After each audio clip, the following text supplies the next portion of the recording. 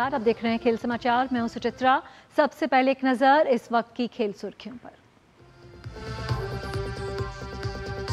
Kanpur test के पहले दिन का खेल। बारिश से रहा बाधित। पहले दिन का खेल खत्म होने तक बांग्लादेश ने 35 ओवर में तीन विकेट पर बनाए 107 रन।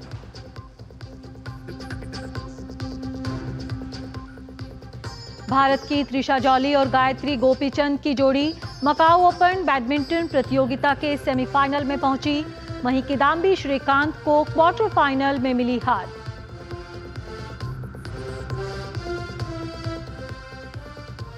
और फुटबॉल में टॉटनहैम हॉटस्पर ने यूरोपा लीग में शानदार अंदाज में शुरू किया अपना अभियान। काराबैग को तीन शून्य से हराया। खबर विस्तार से। सबसे पहले बात करते हैं कानपुर टेस्ट की।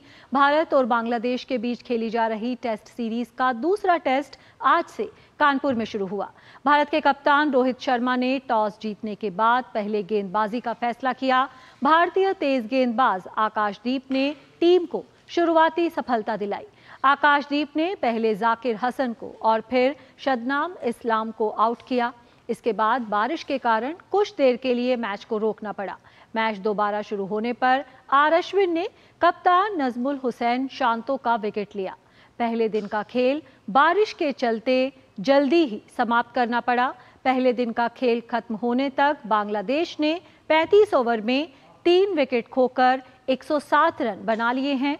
भारत फ़िलहाल इस सीरीज़ में एक शून्य से आगे है। केंद्रीय खेल मंत्री मनसुख मांडविया ने नई दिल्ली में शतरंज ओलंपियाड में स्वर्ण पदक जीतने वाली भारत की पुरुष और महिला शतरंज टीम को सम्मानित किया। इस मौके पर खेल मंत्री ने कहा कि देश ने पिछले कुछ समय के दौरान शतरंज के खेल में अभूतपूर्व प्रगति की है।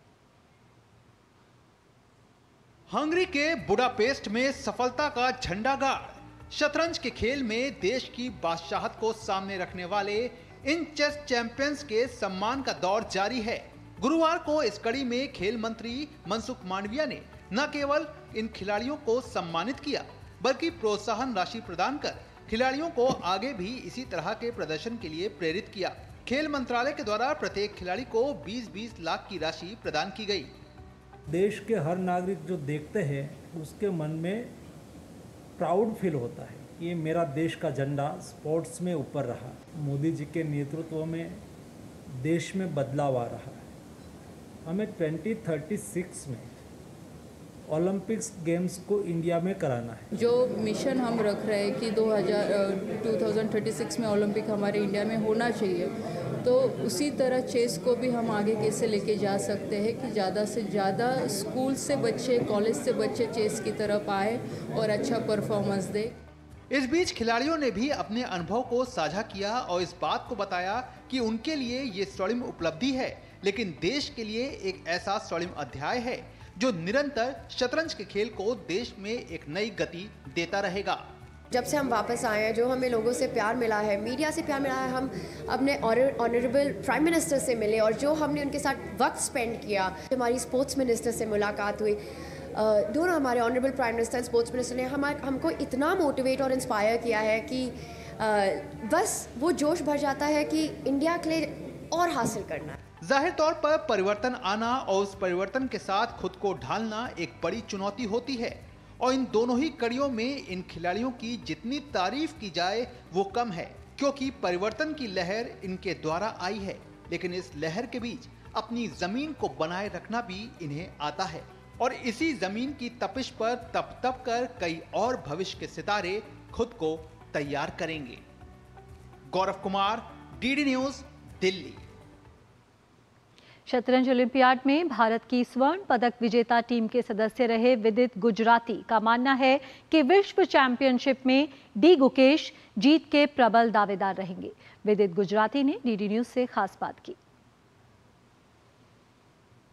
शतरंज ओलंपियाड में भारत की पुरुष और महिला टीम ने स्वर्ण पदक जीतकर इतिहास रचा और इस वक्त हमारे साथ हैं पुरुष टीम के अहम सदस्य विदित, गुजराती विदित। बहुत बहुत मुबारक हो जिस तरह का शानदार प्रदर्शन देखने को मिला महिला और पुरुष टीम की तरफ़ से।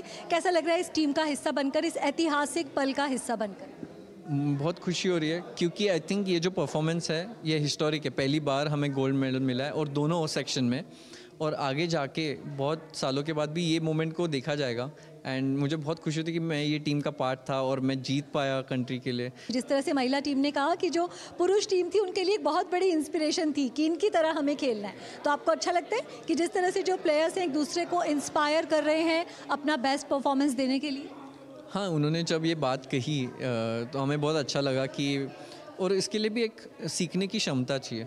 कि आप अपने सब इंडिविजुअल चीज़ें दूर रखो और सिर्फ़ एक स्टूडेंट ऑफ़ द गेम बन के सीखो किसी से तो उन्होंने वो जो किया आ, मुझे बहुत अच्छा लगा सुन के।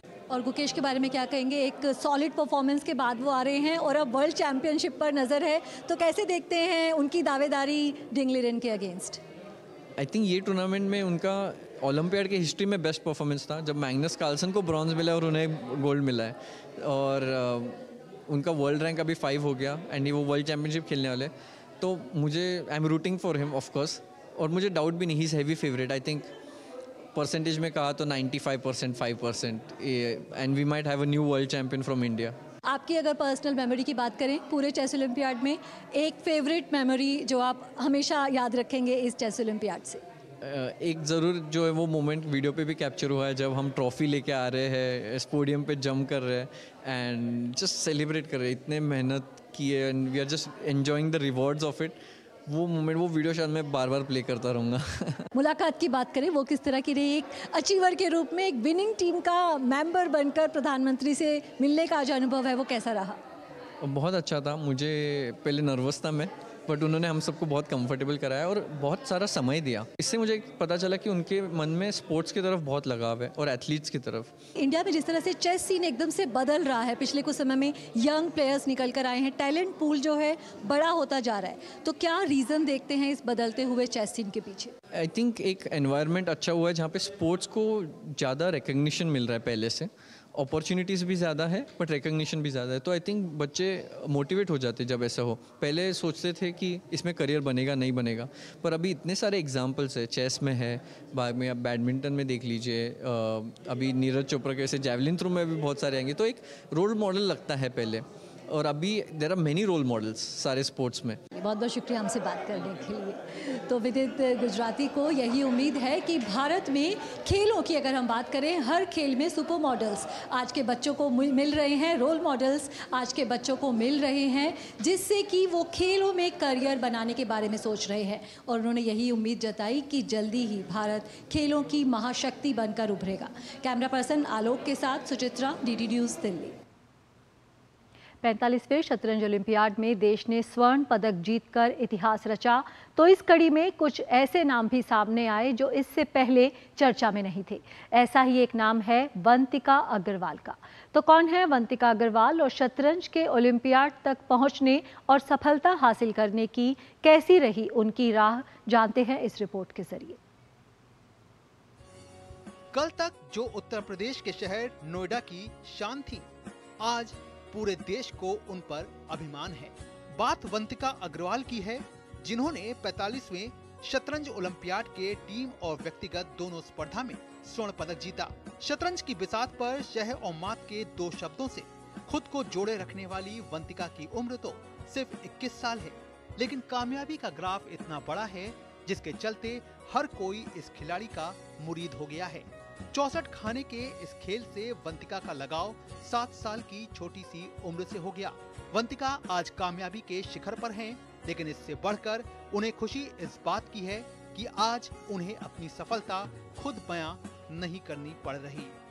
मैं पहले भी बहुत मेडल जीत चुकी हूँ बट हमें तब इतने सालों में भी इतना इतना लोग नहीं पहचाने, मुझे खुद बताना पड़ता था सबको कि अरे मैं जीत के आई हूँ, फिर भी तो लोगों को लगता था अरे कौन सा स्कूल इवेंट जीते है या क्या जीते हैं? बट अब जब खुद ही अखबारों में छप रहे हैं हर जगह, लोग मुझे खुद, मुझे किसी को बताना नहीं पड़ा, सब मैसेज कर रहे हैं खुद तो मुझे बहुत ज़्यादा ही अच्छा लग रहा है। और मुझे ये भी खुशी है कि मैंने जब टीम मुझे टीम इंडिया को मेरी ज़रूरत थी तो मैं कुछ उनके काम आई, मैं जीत पाई। वंतिका की कामयाबी की कहानी को अगर सामने रखें और माँ संगीता अग्रवाल का ज़िक्र ना हो तो ये एक अधूरे अध्याय की तरह से रहेगा। दरअसल वंतिका को शतरंज में बेहतर अवसर मिल सके इसके लिए माँ संगीता अग्रवाल जो कि पेशे से चार्टेड अकाउंटेंट हैं, ने अपनी नौकरी छोड़ दी।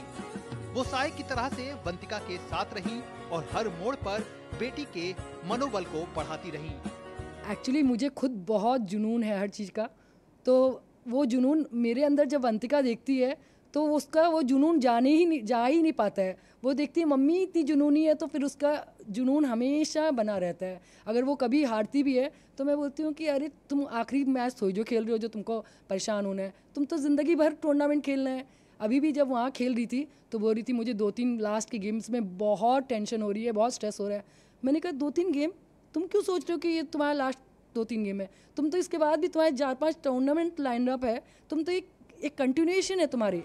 वैसे ये खिलाड़ी भले ही अब सुर्खियों में आई हो, लेकिन इस खिलाड़ी ने पिछले साल एशियन गेम्स में रजत पदक जीतकर इतिहास रचा था।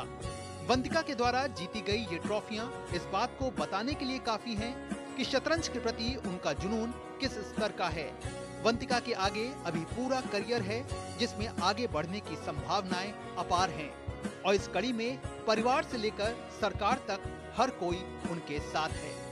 वंतिका की ये कामयाबी काफ़ी कुछ बयां करती है और इस बात की ओर इशारा करती है कि देश शतरंज के खेल में लगातार खुद को न केवल आगे बढ़ा रहा है, बल्कि सुपर पावर के तौर पर सामने आ रहा है। उम्मीद यही की जानी चाहिए कि वंतिका जैसे कई और सितारे जो हैं, वो फलक तक जाएँ और शतरंज के खेल से हमेशा कामयाबी की तस्वीर को सामने लाएँ। कैमरामैन आलोक के साथ मैं गौरव कुमार डीडी न्यूज़ नोएडा। बात करते हैं बैडमिंटन की।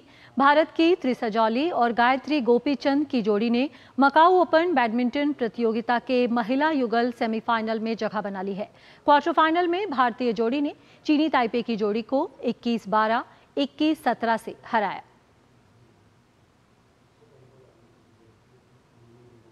वहीं भारत के किदाम्बी श्रीकांत को पुरुष एकल क्वार्टर फाइनल में हार का सामना करना पड़ा। श्रीकांत को एनजी लॉन्ग ने 21-16 21-12 से मात दी।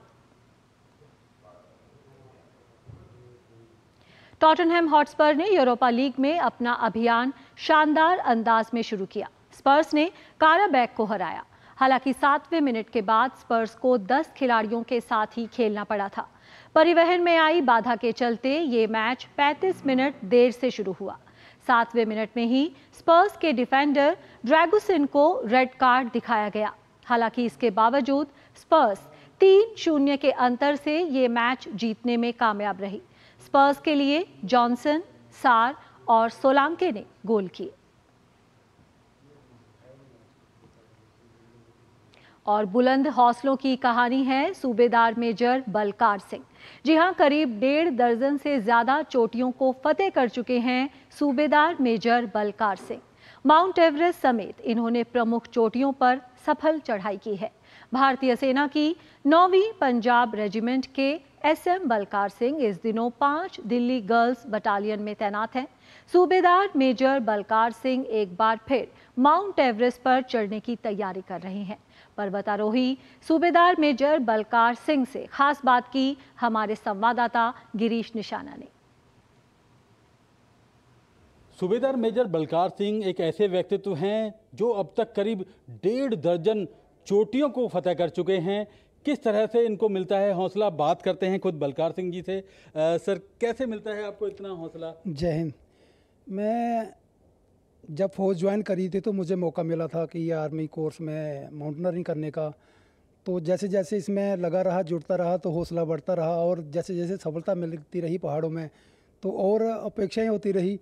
तो कुछ हमारी ताकत बनने की से हम मोटिवेशन होते रहे और हम लोग करते रहे जैसे मौका मिला और करते रहे हम लोग माउंटनरिंग। कौन कौन सी चोटियाँ हैं जिनको आपने फतेह किया है? तरशूल करी है 2015 में करी है 16 में माउंट एवरेस्ट फतेह करी है मुझे मौका मिला एनसीसी से।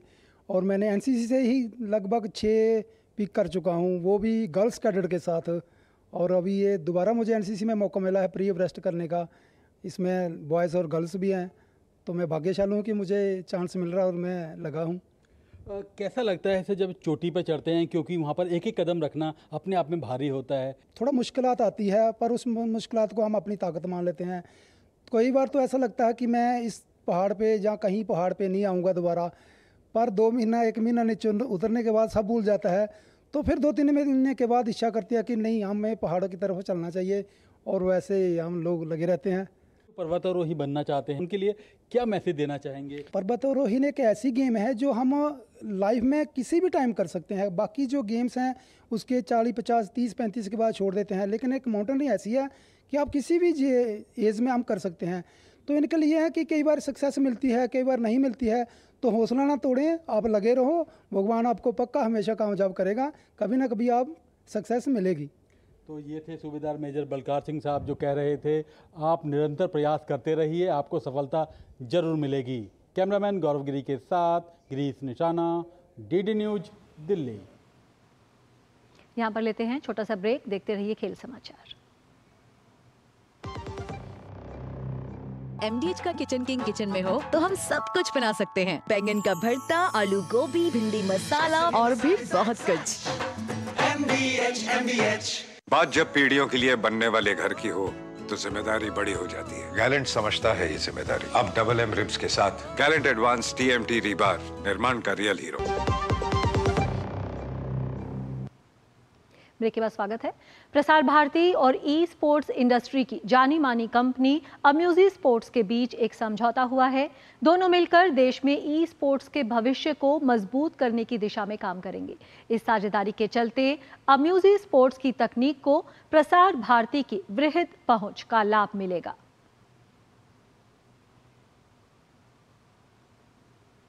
ई स्पोर्ट्स एथलीट्स का कोई ज़्यादा कोई प्लेटफॉर्म नहीं है, जहाँ पे वो लोग अपने जो जो टैलेंट है वो शोकेस कर सकें। क्योंकि ये आज के दिन में ओलंपिक स्पोर्ट बनने चला है तो ये प्रसार भारती का एक एंडेवर है कि वो वो इसको और ज़्यादा हाईलाइट करे।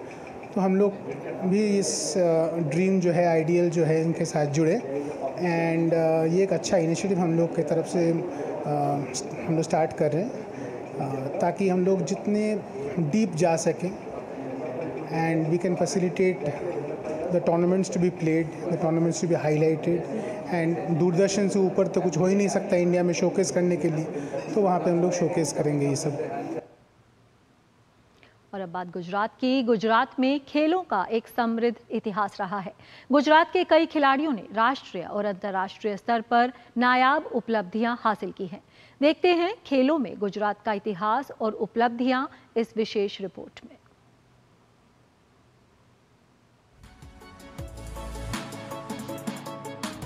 भारत और गुजरात में खेलों के इतिहास का बहुत महत्व रहा है और खेलों के कई ऐतिहासिक दौर को जिन्होंने बहुत बारीकी से देखा है और 50 से भी अधिक सालों से जो स्पोर्ट्स कमेंटेटर रहे हैं, ऐसे सुधीर तलाटी सर हमारे साथ मौजूद हैं। सर, आपसे हम ये जानना चाहेंगे कि भारत और गुजरात के खेलों का इतिहास कैसा रहा और इतिहास से भविष्य का ये सफ़र कैसा रहेगा? आपको जानकर बहुत खुशी होगी।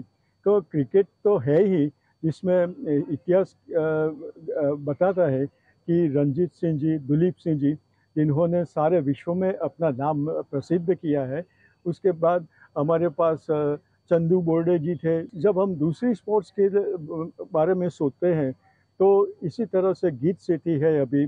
बिलियर्ड्स और स्नूकर्स में, वहाँ भी सोनी, कुलतानी, रूपेश शाह और ध्वज हरिया जैसे खिलाड़ी भी है। पहली बार मैंने माइकल फेडरर को हराया 1982 जनवरी नेशनल्स में। वो अपनी थर्ड वर्ल्ड टाइटल जीत के डायरेक्टली चेन्नई आए। नेशनल चल रहा था। मोल्टा में उन्होंने वर्ल्ड चैंपियनशिप जीती, चेन्नई आए और उधर मैंने उनको नेशनल चैंपियनशिप में हराया 1982 जनवरी। उसके बाद जैसे होता है, एक यू नो एक वर्ल्ड चैंपियन को हरा दिया, थोड़ा यू फील वेरी नाइस थोड़ा, उसके बाद दो तीन साल हारते गया हारते गया हारते गया और फिर फाइनली वर्ल्ड चैंपियनशिप में सेमीफाइनल्स में मैंने इनको हराया और फाइनल में बॉब मार्शल को वर्ल्ड प्रोफेशनल बिलियर चैंपियनशिप में फ़र्स्ट वर्ल्ड टाइटल 92 में मैंने जीता था इधर बॉम्बे में तो आई थिंक अभी गुजरात में सडनली बिलियर्ड्स और स्नूकर का बहुत एक्सप्लोजन आया है लास्ट 10-20 साल में। बहुत सारे शूटर्स गुजरात ने दिए हैं, जैसे कि नानू भाई सूरती, उदयन चिन्नूभाई, और इन्होंने तो वो एक बैकबोन थे जिन्होंने शूटिंग स्पोर्ट्स को बढ़ावा दिया था। टेबल टेनिस का आप सोचें तो कमलेश मेहता है, जो आठ साल तक नेशनल चैंपियन हो चुके हैं। और अभी भी हम बात करें तो हरमीत देसाई है। जितनी भी गेम्स खेली जाती है, उसमें आप देखिए कि टेबल टेनिस का जो टेबल है, आप अभी देख रहे हैं कि उसकी जो लेंथ है डेढ़ मीटर की है। और सामने से जो शॉट आता है, आपके पास उसको रिएक्ट करने के लिए, आपको रिफ्लेक्सिस दिखाने के लिए, आपके पास सेकंड का सौवें भागवा टाइम होता है। तो मेरे ख्याल से one of the most challenging game बात करें 2024 पेरिस ओलंपिक्स की तो शरद कमल से लेके मानिका बत्रा से लेके गुजरात के हरमीत देसाई, मानव ठक्कर, कई प्लेयर्स ने बहुत ही बढ़िया प्रदर्शन किया है। पहले के जो प्लेयर्स थे स्टार्टिंग फ्रॉम 1970 1965 में 75 में बहुत ही फ़ेमस नाम फिगर हुआ करता था टेबल टेनिस में, सुकेतु व्यास। वो इंडिया रैंक प्लेयर थे। उसके बाद साथ ही साथ नीरज ओक थे पथिक गोपानी थे, ये तीनों ही प्लेयर्स अहमदाबाद से थे।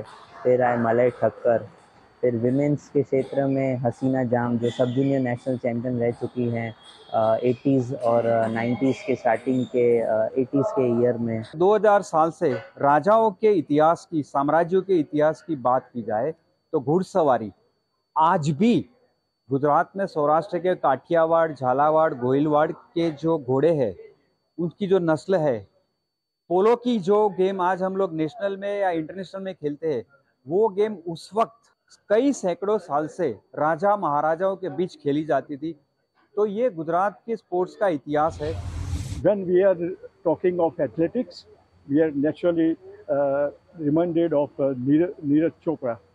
But friends, there is also one very interesting fact which I am going to narrate to you, and that is Razia Sheikh. Have you ever heard her name? She was the first woman uh, Indian athlete who crossed the barrier of 50 meter javelin throw, and she has had a very smooth and easy action. History देखेंगे आप तो राजीव गुप्ता रजिया शेख इसके बाद अपना D के मालविया, इसके बाद अपने सरिता गायकवाड़, गावित मुरली, ये सब बच्चे और एथलेट गुजरात से इंटरनेशनल खेले हैं। और अभी भी जूनियर में भी काफ़ी बच्चे अच्छे हैं, जो आगे अच्छा इम्प्रूवमेंट करेंगे। पेरिस ओलंपिक में कुश्ती में कांस्य पदक जीतने वाले भारतीय पहलवान अमन सहरावत का अगला लक्ष्य जापान में होने वाले एशियन गेम्स में खुद को चैंपियन के तौर पर सामने लाने का है। हालाँकि इसके साथ ही अमन ने कहा कि वे पेरिस में खुद के द्वारा हासिल किए गए कांस्य पदक से संतुष्ट नहीं हैं। अमन के मुताबिक उन्हें अभी अपने खेल में कई स्तर पर सुधार करना है। ओलंपिक पदक विजेता अमन सहरावत से खास बात की हमारे संवाददाता गौरव कुमार ने। पेरिस ओलंपिक में अपने नाम की धूम मचाने वाले और कांस्य पदक जीतने वाले पहलवान अमन सहरावत इस वक्त हमारे साथ है। आइए उनसे बात करते हैं। अमन पेरिस ओलंपिक में क्या कुछ किया आपने? ये हम सबको पता है। लेकिन अब पेरिस ओलंपिक से आगे अब क्या आगे आपकी तैयारी है? एशिया चैंपियनशिप आ रही है वर्ल्ड चैंपियनशिप आ रही है बस उसी पर ध्यान है। आ, अमन पेरिस ओलंपिक में आपने ब्रॉन्ज जीता। लेकिन अगर पूरे अपने अनुभव को अगर आप बताएँ पैरिस पैरिस ओलंपिक से लेकर के उससे पहले का जो आपकी जो फाइट्स रही थी, उसको देखा जाए क्वालिफायर्स की फ़ाइट देखी जाए, और खुद जिस तरह की जो सेमीफाइनल फाइट रही आपकी, किस तरह का एक अनुभव जो है वो आपको दे गई? अनुभव तो मतलब हम पहले से कंपटीशन लड़ रहे भाई, ऐसा लग रहा था मेडल तो मतलब आएगा, हम पूरी कोशिश करेंगे तो। पर मैं तो गोल्ड के सोच के जा रहा था भाई गोल्ड लेके आना है। गोल्ड के लिए प्रैक्टिस कर रहे थे, बस थोड़ी कमी रह गई, उसको पूरी करेंगे जो कमी रही है। मतलब अभी तो मैं खुश हूँ, लेकिन ब्रोंज जीत कर संतुष्ट नहीं हूँ। मेरा तो टारगेट है बस गोल्ड जीतना और गोल्ड जीत के हाँ भाई, फिर सोचूँगा देश के लिए कुछ किया है। कौन कौन से क्षेत्र हैं जहाँ पे आपको मेहनत करनी है अभी और भी ज़्यादा? बस वो शुरुआती दौर में मेहनत करनी है। शुरुआती दो तीन मिनट जो डिफेंस नहीं हो पा रहा, उसी पर ज़्यादा फोकस करना है। अगली दो तीन मिनट तो बस वे तो अच्छी है, उसमें कोई दिक्कत नहीं जो अमन इस ओलंपिक में वज़न को लेकर के काफ़ी ज़्यादा चर्चाएँ हुई। खुद आपका भी वज़न जो था वो बढ़ा हुआ था, लेकिन उसको आपने ब्रॉन्ज मेडल मैच से पहले कम किया। कैसे, क्या क्या कुछ किया उसको कम करने के लिए, इसके बारे में बताइए थोड़ा।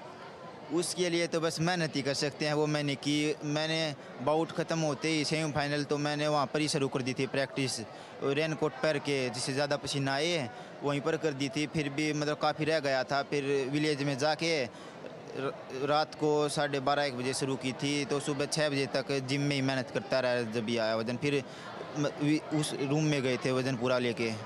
पिछली बार की तुलना में इस बार मेडल कम आए हैं। लेकिन अ, जो भारतीय एथलीट हैं वो किस तरह से खुद को आगे बढ़ा पाने में हर केवल कुश्ती नहीं बल्कि बाकी गेम्स की अगर बात करें तो किस तरह से आगे बढ़ते हुए दिख रहे हैं आपको? थोड़ी बहुत कमी रही है वो आगे पूरी करेंगे। देश खिलाड़ी बहुत अच्छी प्रैक्टिस कर रहे हैं उनमें कोई दिक्कत नहीं। मेहनत तो सभी करते हैं हम भी करते हैं हमसे भी ज़्यादा करने वाले को मेडल नहीं आया ऐसा भी है।